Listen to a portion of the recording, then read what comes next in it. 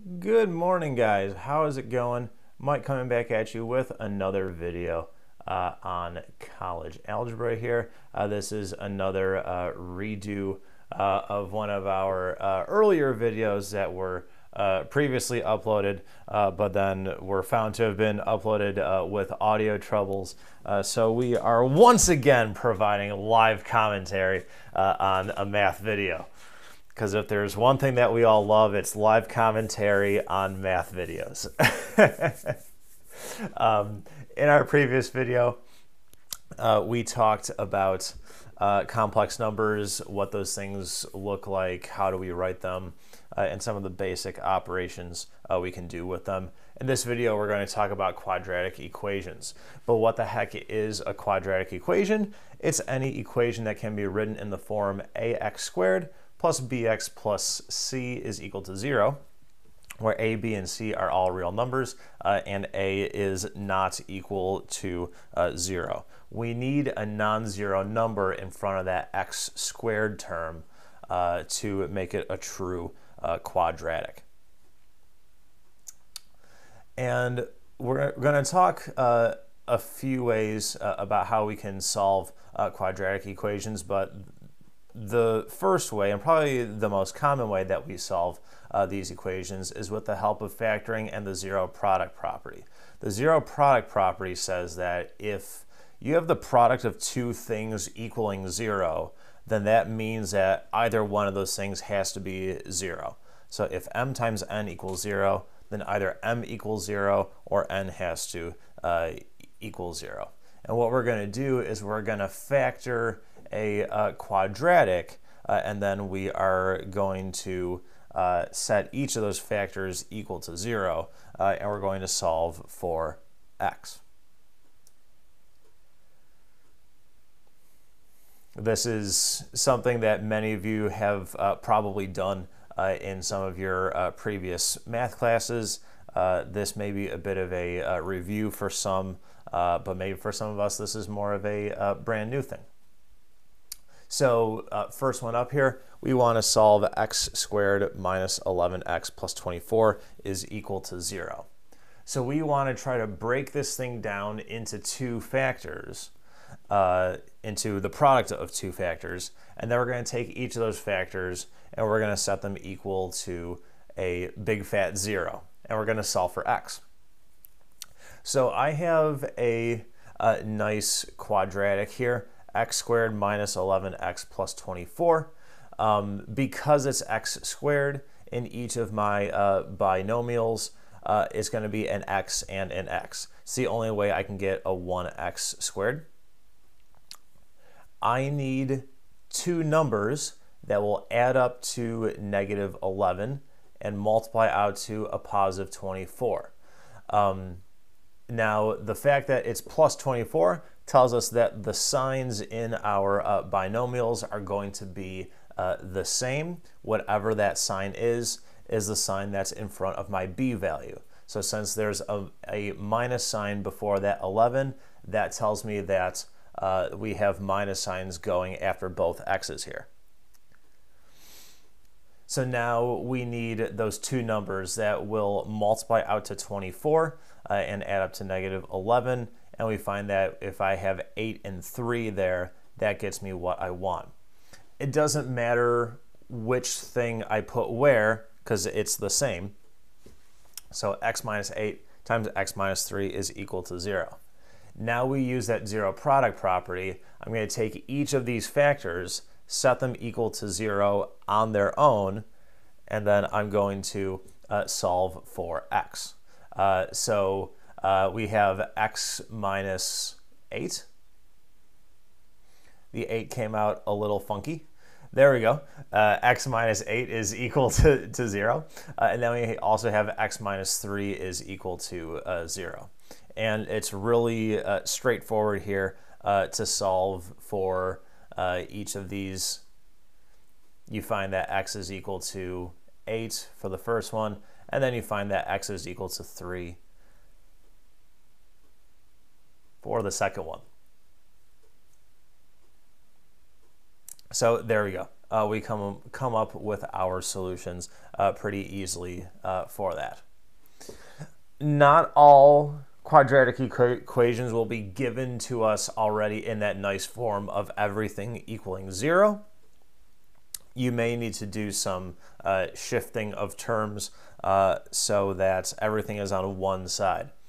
And I would suggest that you shift terms uh, so that the leading, uh, or so that the number in front of your x squared is positive. Uh, make that positive because it's the nicest thing to uh, work with overall. So here I'm going to uh, subtract 2 from each side and that is uh, going to give me 3x squared uh, plus 5x minus 2 is equal to 0. Now, this is going to be a little bit uglier to factor, but overall still not too bad. Um, we have 3x squared uh, now, not just x squared. But it's still nice, because when we come up with our factors, there's only one way we can get 3x squared. We have to have one thing being a 3x and the other thing being an x. It's the only way that we can come up with a 3x uh, squared. This does make it a bit more involved and a bit more complicated when we have to come up with the other uh, numbers here. What's coming after the 3x and what's coming after the x.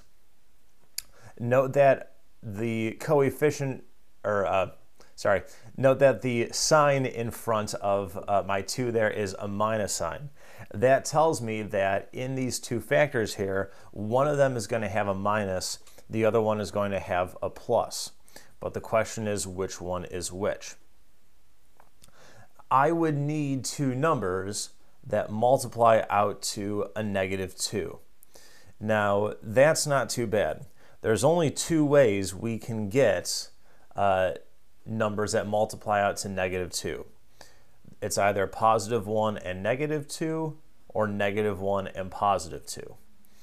And it may take a little bit of uh, trial and uh, error uh, to see uh, which one it is that you need. Uh, but what you're looking for is the negative 1 and the positive 2, and the negative 1 goes in our first factor, and the positive 2 goes in our second factor. If you multiply these out, then you would get 3x squared plus 5x minus 2. Set each of these factors equal to 0 and solve for x. I think it's pretty uh, straightforward. I think you could do that on your own. You come up with negative 2 and a positive 1 third. So that's the first sort of big way that we solve uh, quadratic equations. Another way that we solve uh, quadratic equations uh, is using a technique called completing the square, but first we need a basic uh, fact here uh, just to be uh, clarified. If we have x squared equals k, then x is equal to plus the square root of k or minus the square root of k. So that's a very basic fact that we're going to use. Uh, now on to completing the uh, square. And I'm only going to ask you problems uh, where the number in front of our x squared is 1. Uh, I don't want to make it too complicated. Most problems that you see are in this form as it is, but just for being extra sure, let's keep it more simple. Uh, so to solve, uh, x squared plus bx plus c uh, is equal to 0. The first thing we're going to do uh, is we are going to uh, subtract our c value from both sides. We just want the x squared plus the bx.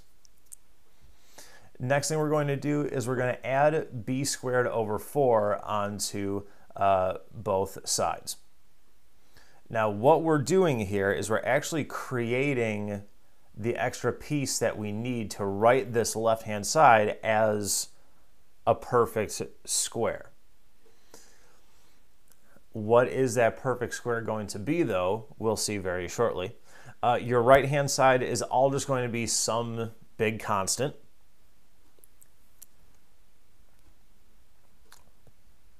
b is known, c is known, uh, therefore b squared all over 4, uh, and then minus c, that's going to be uh, some constant there. The left-hand side is always, always, always, always going to become a perfect square if you have followed steps 1 and 2 correctly.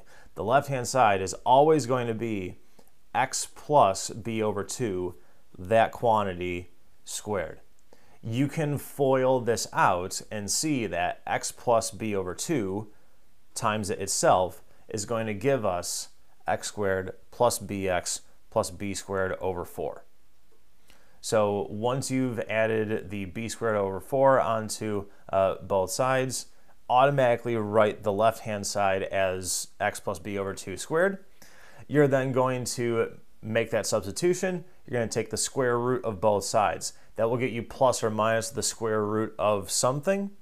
And then you're going to subtract b over 2 uh, from each side, and that's going to help you get your solutions. So we're going to do this uh, with a uh, sample problem here. x squared minus 8x plus 1 is equal to 0. Just by looking at it, it's not really clear that we can come up with two relatively nice factors uh, for this thing. Uh, factoring doesn't really help us out here because uh, we would need two numbers that would multiply out to positive 1 and add up to negative 8. Uh, that's seemingly not clearly possible, uh, and it really isn't possible. Uh, so, uh, so we need to come up with some other way to factor this thing. Um, or we uh, we need to do something else to help us find our uh, x values, I should say. Not so much factoring. But I'm going to uh, subtract my c value from both sides. x squared minus 8x is equal to a negative 1.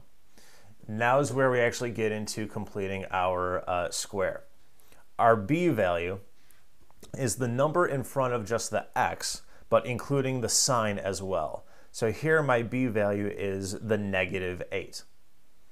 I'm going to take that guy, cut it in half to give me b over 2, which is negative 4, and then I'm going to square it. And that gives me 16. And that is my b squared over 4. Now the reason that I did the b over 2 is because I'm going to have to use that in the next step. So I added that 16 onto both sides there, giving me x squared minus 8x plus 16 equals negative 1 plus 16 or 15. That left-hand side, we, we said it was x plus b over 2. I'm taking that b over 2 value of negative 4 and I'm making that substitution. So my left-hand side is going to be x plus a negative 4, or x minus 4, that quantity squared, equaling 15. There we go. x minus 4, that quantity squared, is equal to 15. So I made that substitution. I made the substitution uh, for my uh, x plus b over 2. Once I've made that substitution, I'm going to take the square root of both sides. And very shortly, uh, we will be seeing that we have uh, x minus 4 equals plus the square root of 15, or x minus 4 equals minus the square root of uh, 15. Now it's really straightforward uh, to solve for x. Uh, in each of these cases, I'm just going to add 4 onto both sides in each of these uh, equalities here. And we will see that we get 4 plus the square root of 15, or x equals 4 minus uh, the square root of 15. And there's a way that we typically write this all as one thing. We write 4 plus or minus uh, the square root of 15. It's another way to write both values at the same time. So that's uh, completing the square. That's a way that you may have to use. Uh, the third way that we can uh, solve a quadratic equation is with the quadratic formula. Um, it's an ugly looking formula, but in a sense, it's perhaps the most friendly in the sense that you can always use this equation uh, and you're guaranteed to come up with uh, the solutions. The main thing is just substituting in the correct values. Here's the quadratic formula. Again, this may be uh, familiar to uh, most of us. x equals negative b plus or minus the square root of b squared minus 4ac all over 2a. And there's even a, a silly, stupid, corny little song uh, that's tied in with it. X equals negative b plus or minus radical b squared minus 4ac all over 2a. Yes, it's dumb.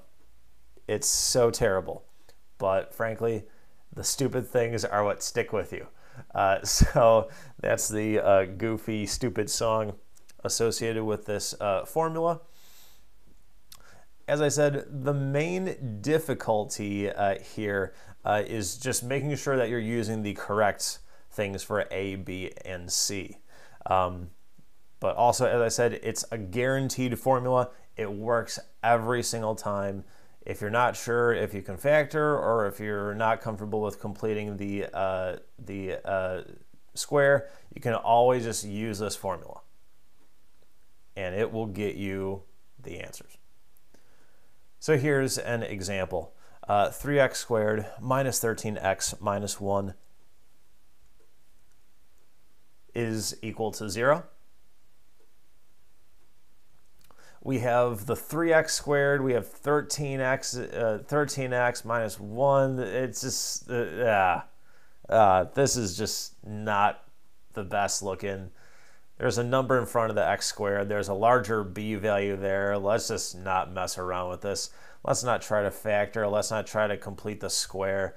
We're just going to plug this thing into the uh, quadratic formula. So again, it's ax squared plus bx plus c. The number in front of my x squared is a positive 3. That's my a value. We then have plus a negative 13x, which means b is negative 13. And then we have plus a negative 1, so c is equal to negative 1. So those are the values that I need to use uh, when I substitute into the quadratic formula. So again, negative b plus or minus the square root of b squared minus 4ac all over 2a. I'm now just going to substitute values in here. That's going to be minus negative 13 or plus 13 plus or minus the square root of negative 13 squared minus 4 times 3 times negative 1 all over 2 times 3.